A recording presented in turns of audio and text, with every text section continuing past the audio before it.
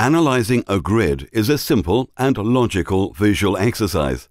The horizontal represents the individual task and its allocation of resources, and the vertical represents an individual's overall activities within a project.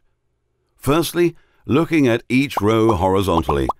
If there are too many R's in one row, you have to question yourself whether too many people are involved on this specific task. Can they be better utilized elsewhere on the project? Would this cause potential conflict and duplication?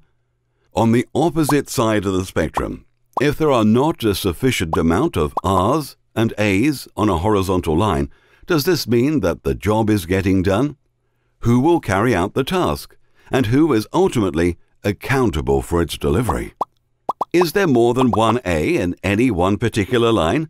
This could potentially cause confusion and conflict and result in trying to find a consensus rather than making any hard decisions.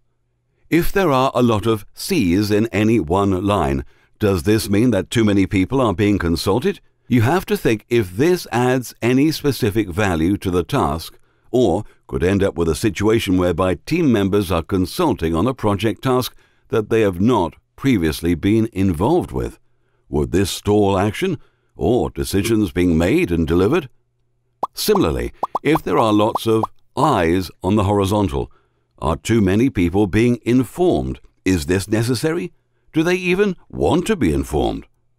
Right, turning to the vertical now. Are there too many R's on any one vertical column? Does this mean the team member has too much work on? Are their efforts being diluted across multiple different project tasks? Are there no empty spaces? Does this mean again that someone has too much involvement in everything? Do they need to be consulted with on specific tasks? Or could they just focus on what they are directly responsible for? If there are no R's or A's in any one column, is that person necessary on the project? Is their time being utilized wisely on that particular project? With too many A's, the project leader needs to question whether accountability is at the right level.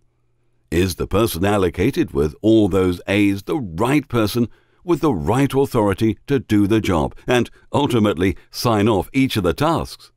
This often occurs in large, hierarchical organizations. Can the project leader delegate out accountability to other levels of the organization?